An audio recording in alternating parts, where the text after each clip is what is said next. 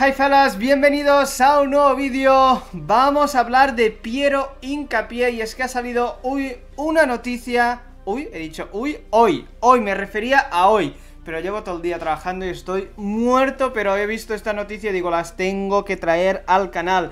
Y es que Piero Incapié, el defensor ecuatoriano más laureado de esta temporada, ganando la Bundesliga y ganando la Copa de Alemania y casi la Europa League, está a punto, no, no está a punto, pero suena para el Atlético de Madrid. Por eso me he puesto esta camiseta, porque juegan de los mismos colores, pero no la tengo aquí, la Atlético de Madrid. Vamos a analizar la noticia, es humo, no, encajaría, mi opinión, etcétera, etcétera. Bienvenidos a Fútbol por el Mundo.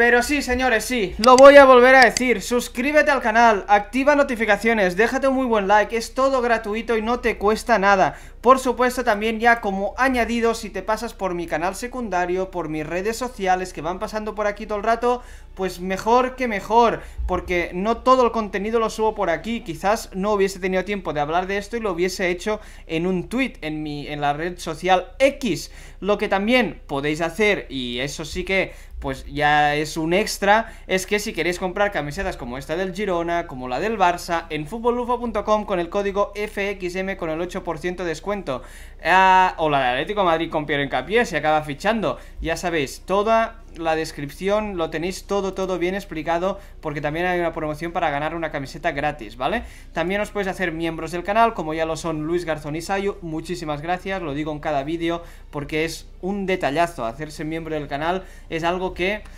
llega al corazón, porque es gente que paga porque le gustan mis vídeos, imagino, o porque le sobra el dinero, no lo sé, pero bueno, por el precio de un dólar tampoco es mucho, así que, pero es algo que es ese gesto realmente que a mí me gusta mucho, cuando veo que alguien se hace miembro, me gusta mucho, así que muchas gracias.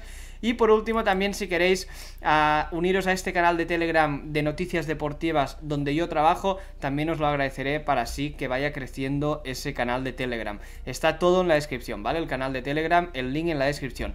Vamos a analizar ya esa noticia que he visto hace un ratito cuando ya estaba pensando que me iba a dormir, he visto esto hace de unas cuantas horas, de hecho se ha publicado esta mañana, pero como os digo, yo estoy ahora mismo muy liado con el trabajo y no me ha salido, no lo he visto y ya cuando me iba casi a dormir lo he visto, al final he repetido mil veces lo he visto, pero es que mi cerebro ya está un poco atascado, eh, perdonadme, eh. Y dice, el Atlético insiste con hincapié, lo dice FJ Díaz, ¿vale? Es un periodista veterano ah, que sigue al Atlético Madrid desde hace 30 años, con lo cual vamos a darle bastante fiabilidad a ese interés del Atlético Madrid por hincapié. El ecuatoriano Leverkusen sigue siendo, sigue siendo uno de los preferidos para reforzar la zaga en el perfil zurdo. Él está encantado de recalar en el Atlético. ¿Vale? Eh, según él, a Hincapié le gustaría mucho. A ver, sería llegar al tercer equipo más importante de España, un equipo con Simeone que lleva ahí mucho tiempo y un equipo que esta temporada defensivamente ha fallado.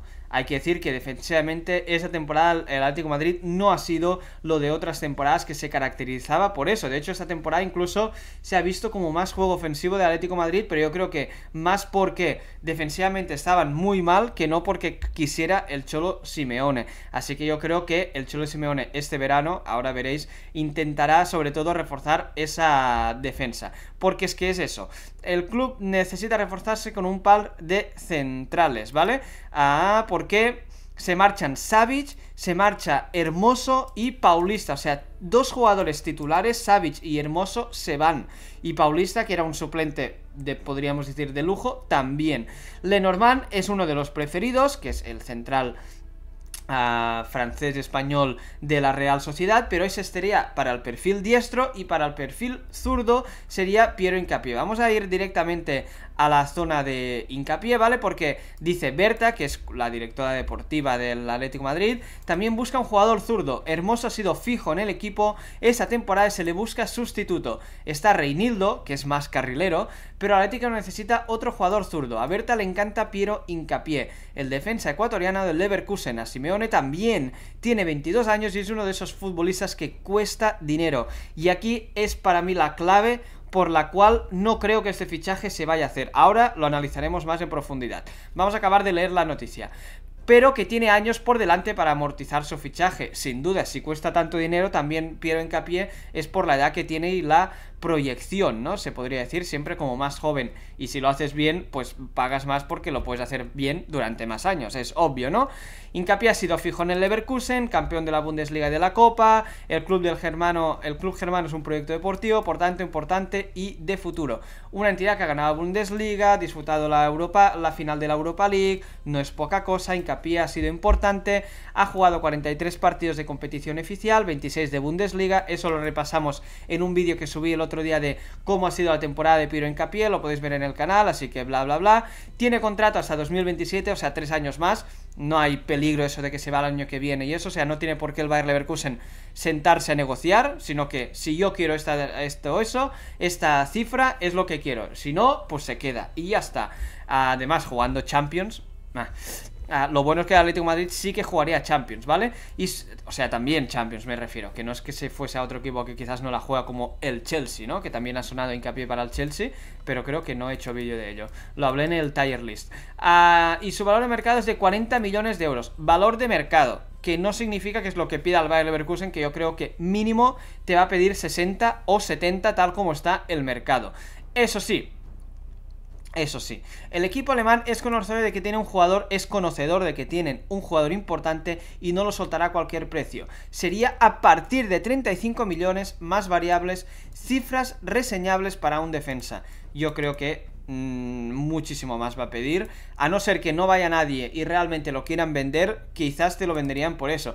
Pero su, su valor de mercado es 40 millones y tiene 22 años, sería una oferta muy muy baja, 35 millones más variables a mi modo de ver. Pero bueno, eh, y ahora veremos lo que os digo, ¿no? Porque Hincapié es un jugador ágil, rápido, que se acopla perfectamente a jugar en una línea de 3, que puede jugar incluso de carrilero, como hemos visto. Así que ocupa plaza de extracomunitario, por pero eso no es problema para el conjunto de Simeone, que le conoce bien de su etapa en el fútbol argentino. Vale, vamos a ver un poquito, hincapié, 40 millones, como decíamos, ha subido mucho su valor de mercado, ya sabemos más o menos quién es, así que lo que vamos a hacer es un poquito cómo queda la defensa de Atlético Madrid, ¿vale? Ah, en defensa quedará Jiménez, que es central, que se pasa media temporada lesionado, pero muy buen central cuando está bien. A Mario Hermoso, que sería el jugador, el central izquierdo, pues que se va y es la plaza que queda libre. Axel Witzel, que ha jugado toda esa temporada y jugaba más en el medio y un poquito como más adelantado para distribuir, se queda. Así que tenemos Jiménez y Witzel.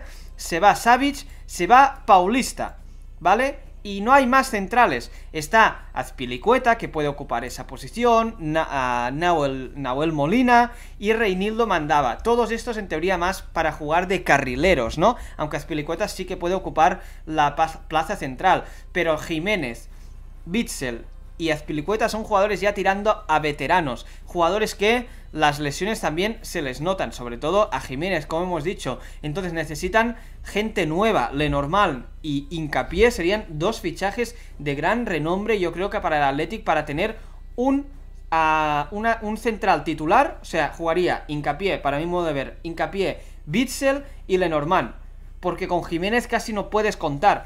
Pero cuando haya una lesión, pues entra Jiménez. Cuando esté Jiménez lesionado, esos tres que he dicho. Algún día para rotación Azpilicueta. Y si sale alguno de la cantera, que no conozco mucho la cantera del Atlético Madrid. Entonces, por posiciones, para mí, Hincapié tiene cabida perfectamente y sería titular, para mí, indiscutible desde un buen principio.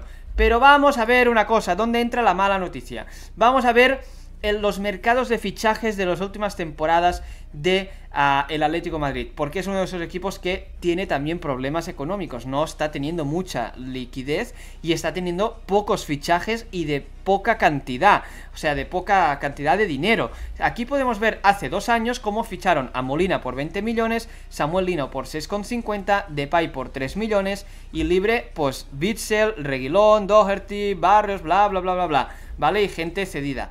Pues ya lo veis, eh, su fichaje más caro 20 millones. Vamos al mercado del año pasado, la temporada 23-24. La temporada 23-24 ficharon a Griezmann por 22 millones al Barça, que era ese pacto y todo lo que hicieron.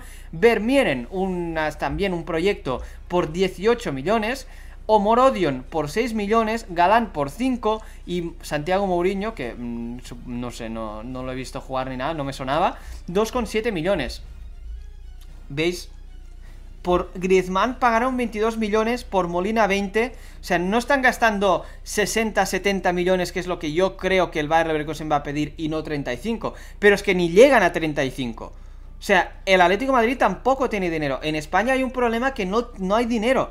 A excepción del Madrid, que tampoco ha fichado mucho porque se está ahorrando para fichar a Mbappé y esas cosas, y fichó a Bellingham y eso, no están despilfarrando como otras temporadas los equipos simplemente es el, Madrid el único que ha quedado con, una buena economía. El Barça ya sabemos cómo está, destrozado, el Atlético Madrid también, el Betis, el Sevilla...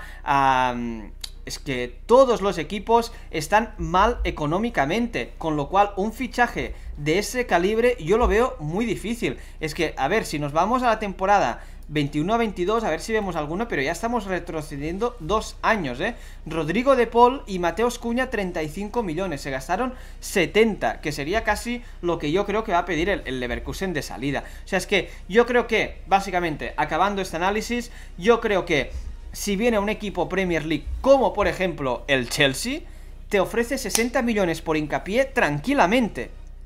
Tranquilamente. Otra cosa es que nadie más lo quiera y entonces obviamente pues la cifra va bajando. Pero es que para malvenderlo, yo creo que el Bayern Leverkusen no lo va a malvender. Tiene un jugador titularísimo, tiene un jugador que ha rendido, que no se lesiona, que cuando sale bien, no ha sido titularísimo, ya lo hemos repasado eso, pero cada vez que ha salido bien, ha acabado la temporada en su prime. O sea, yo creo que el Bayern Leverkusen si lo vende por 35 sería malvenderlo yo no lo vendería. Y más en esta temporada donde sigue Xavi Alonso, donde se va Champions League y donde es un poquito la temporada de la confirmación. Así que yo creo que si el Bayer Leverkusen vende a hincapié, es para sacar una buena tajada, es para sacar mínimo 60-70 millones. Si no sacan 60-70 millones, no lo van a vender. Vaya, yo si fuera el Bayer Leverkusen no lo haría. El mercado da mil vueltas y veremos qué sucede. Pero esta es mi opinión, yo creo que no se dará esta operación con Atlético Madrid porque no creo que Atlético Madrid